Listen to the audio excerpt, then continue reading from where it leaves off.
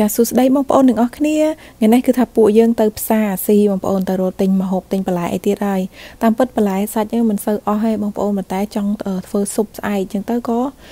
ទៅរកទិញជីហើយនឹងស្ដែកបដោះយកមកធ្វើស៊ុបហើយអញ្ចឹងទៅក៏ទៅទិញអីអីផ្សេងអញ្ចឹងណាចាហើយដល់ពេលមកដល់តាមផ្លូវនេះស្ទះចរាចរណ៍បងប្អូនអើយចៃដន្យអីគេមានគ្រោះថ្នាក់ចរាចរណ៍នៅខាងមុខនោះប៉ូលីសកំពុង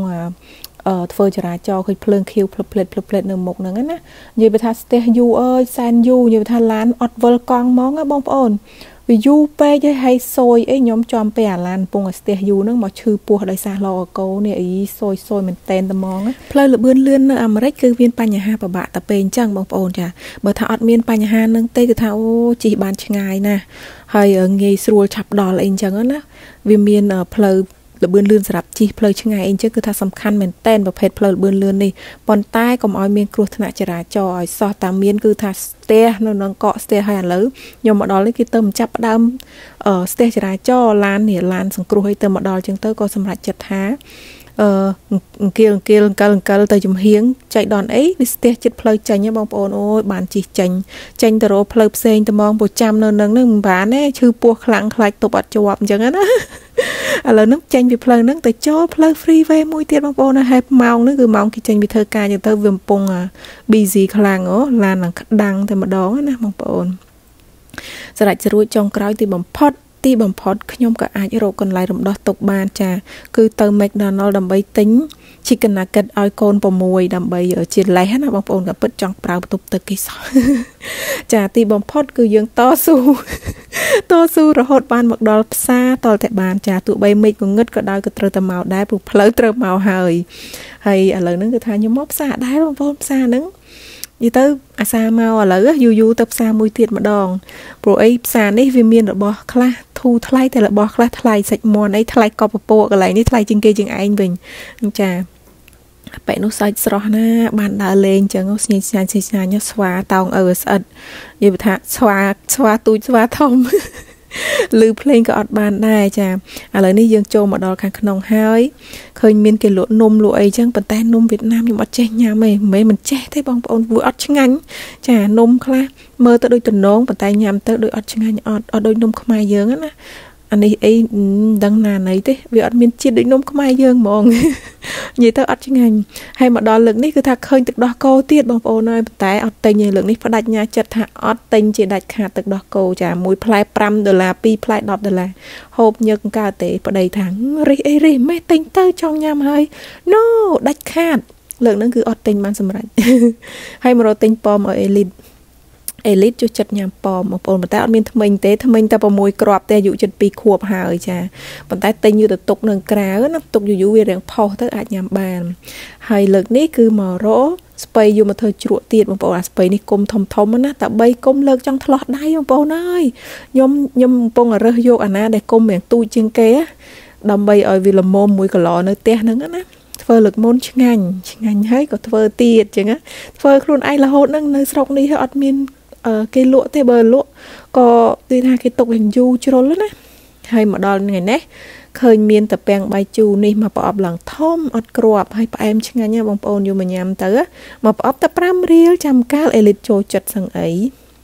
ហើយបើសកានេះវិញនិយាយថារិចដល់ហើយបងប្អូនរិចឡើងចោះប្រេះតែហ្មងល្អប៉ុន្តែអត់ចូលចិត្តហើយតម្លៃគេសមរម្យមែនតែនតម្លៃគេចោះថោកអត់យកទេសកានេះអត់ចូលចិត្តតែមកយកយកក្រូចតិចសាសនេះញ៉ាំ ទិញទៅលើកមុនផ្អែមឆ្ងាញ់មែនទែនបងប្អូនមួយថងញ៉ាំតែមួយថ្ងៃអស់លើកនេះយកទៅ2ថងហ្មង ឆ្ងាញ់ខ្លាំងក្រូចនឹងហើយបើនិយាយពីអាស្អីគេនេះបងប្អូនទៀបនេះទៀបនៅស្រុកអាកៀងនេះថ្លៃម្លេះប្រហែលជាខែនេះគេកំពុងពេញថ្លៃមើលទៅមួយផោន12ដុល្លារថ្លៃថ្លៃយកតែមែនតេនណាដល់ពេលអញ្ចឹងក៏សម្រេចចិត្តថាងាកមកទិញចេកដំបងវិញព្រោះថាលទ្ធភាពយើងបានត្រឹមចេកដំបងចាមួយស្និតនេះ3ដុល្លារ13សេន ហ្នឹងហើយតែប៉ុណ្្នឹងបានហើយប៉ុន្តែឆ្ងាញ់ណាចេកដំបងនេះសាច់វារឹងហ៎ហើយអានេះផ្លែ passion បងប្អូន1ផោនថ្លៃដែរតើ1ផោន5ដុល្លារចាសម្រាប់អ្នកជួយចិត្តធ្វើ passion ជួយចិត្តញ៉ាំអាចទិញបានតែសម្រាប់ខ្ញុំខ្ញុំអត់ចេះទេអញ្ចឹងទៅក៏អត់យកទៀតហើយមកមើលអាខាត់ណាដើមគេហៅអីគេ Chinese broccoli មើលចុះមើលឡើង1ផោន2រៀលជាងទុកវិញបងប្អូនរៀងថ្លៃអត់បានយកទេ ហើយអានេះអាស្ពៃជើងទាសម្រាប់ធ្វើជ្រក់ហ្នឹងបងប្អូនឃើញតែទូចទូចចេះមែនអាហ្នឹងធ្វើជ្រក់ជាតិណាចូលជាតិល្អចេះអាធំទៀតឆ្ងាញ់តែអត់បានទិញទេចាំលើកក្រោយលើកនេះទេអាធំតម្លាច់នេះទិញ2ផ្លែដែលយកទៅទុកប្រហែលទុកឆាឬក៏ធ្វើម្ហូបអីមិនដឹងទេទិញទៅផ្កានេះបើសិនជាលក់ទៅគ្រឿងតំណងឆ្ងាញ់តែអត់ដែរញ៉ាំទេបងប្អូនយើងទៅអត់យកទៀតទៅតែបើត្រប់ត្រប់អត់បានទិញលើកនេះប៉ុន្តែ មាននៅផ្ទះមកផ្ទះមកប្រអប់ធំជាងនឹងទៀតចាត្រប់នេះ មកប្រអប់3ដុល្លារស្ដេចគួរធូរថ្លៃឃើញទេមកបាច់តែ2ដុល្លារជាងតិចទេហើយមិនដឹងទិញយកធ្វើអីអានេះអេលីតចូលចិត្តណាអាពណ៌បៃតងនេះអេលីតចូលចិត្តផ្កាស្ពៃសហើយនិងស្ពៃខៀវហើយស្ងោឆាប់ថុយទៀតចឹងទៅក៏ស្ងោឲ្យគាត់ញ៉ាំរាល់ថ្ងៃគាត់ចូលចិត្តហើយអានេះទិញជី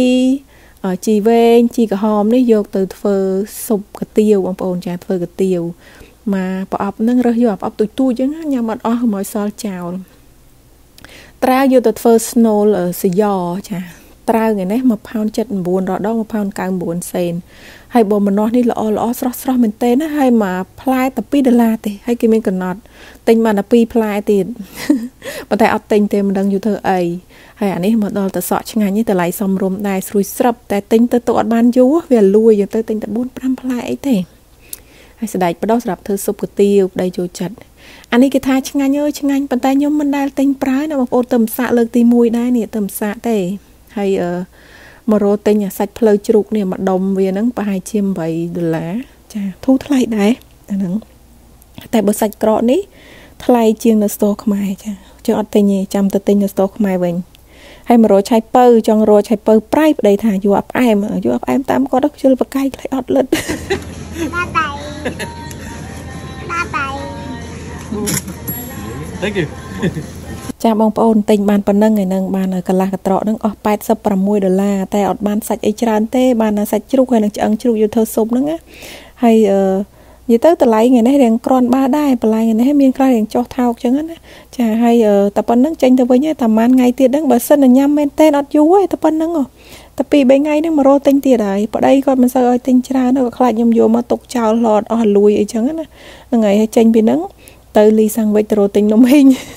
និយាយថាឃ្លានញ៉ាំនំហេងហើយដល់ពេលថ្ងៃមុនធ្វើខ្លួនឯងធ្វើទៅដូចវាមិនត្រូវចិត្តណាមកទិញគេអត់ដែរលទ្ធផលចុងក្រោយហើយឆ្ងាញ់ណាបងប្អូននំហេងនៅលីសាំងវិចនេះហ៎វីដេអូនេះបញ្ចូលសលេងយ៉ាងត្រង់តន់ហន់តន់ហន់ណាដោយសារទូរស័ព្ទវាជិតអស់ថ្មបងប្អូនយើងវាខ្លាចវាលុតឈឹងណាចាជម្រាបលាបងប្អូនបាយបាយ